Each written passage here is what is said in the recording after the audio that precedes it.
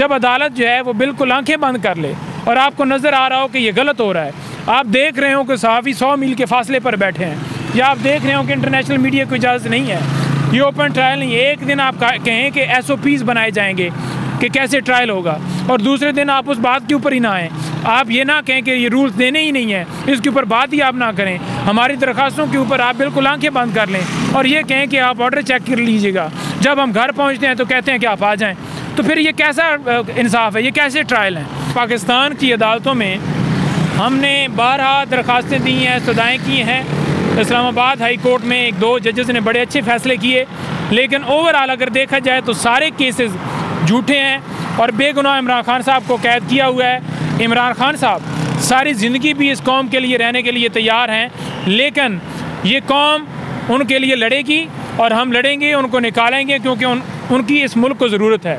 और जो रवैया तमाम अदालतों में हुआ है, सुप्रीम कोर्ट में लेटर लिखा गया है। आज भी खान साहब को मैंने बताया कि सुप्रीम कोर्ट में लेटर गया और ये जवाब आया। तो वो कहते हैं कि एक जमात की तरफ़ से लेटर आया है, वकील का नहीं पता कि किसने भेजा है, जिसमें यह कहा गया है कि बुनियादी इंसानी हकूक़ की खिलाफ वर्जियाँ हो रही हैं। तो लिहाजा हम अपनी आइनी ज़िम्मेदारी जानते हैं। तो क्या वो जानते हैं? तो इंटरनेशनल जो जो है वो फॉरम के ऊपर रजू करने के हवाले से जो उन्होंने बात की है वो इसी के पस मंज़र में की है कि जो रवैया किया जा रहा है, जब अदालत जो है वो बिल्कुल आँखें बंद कर ले और आपको नज़र आ रहा हो कि ये गलत हो रहा है। आप देख रहे हो कि सहाफ़ी सौ मील के फासले पर बैठे हैं। या आप देख रहे हो कि इंटरनेशनल मीडिया को इजाज़त नहीं है। ये ओपन ट्रायल नहीं है एक दिन आप कहें कि एस ओ पीज़ बनाए जाएँगे कि कैसे ट्रायल होगा और दूसरे दिन आप उस बात के ऊपर ही ना आएँ।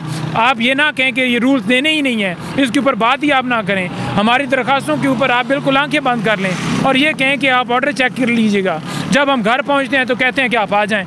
तो फिर ये कैसा इंसाफ है? ये कैसे ट्रायल है? तो इसलिए उन्होंने ये बात की है और उन्होंने बिल्कुल ठीक बात की है।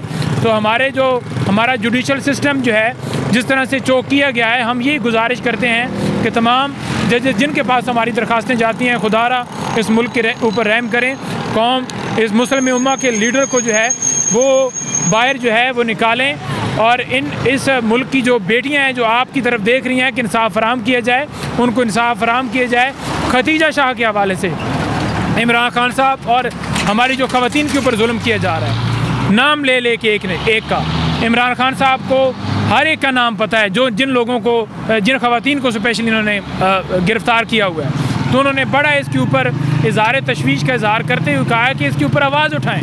और हम बिल्कुल आवाज़ हर जगह पर उठाएँगे, हर प्रेस कॉन्फ्रेंस में उठाएँगे, हर हर मामले के ऊपर उठाएँगे। आप लोगों की सपोर्ट की हमें ज़रूरत है और आप लोग ही हैं जो वायद रास्ता हैं, जिसके ज़रिए से हमारा ये मैसेज पूरे मुल्क में जाता है और पूरी दुनिया में जाता है। तो आप लोगों का बहुत शुक्रिया, जिस तरह से आप हमारी आवाज़ बने हुए हैं। ओवरऑल तो हमें हर जगह पे पाबंदी है, उस साफ़ी पे भी पाबंदी है, जो किसी, जो असल हकीकत आकर बाहर बताता है। तो आप लोगों का बहुत शुक्रिया।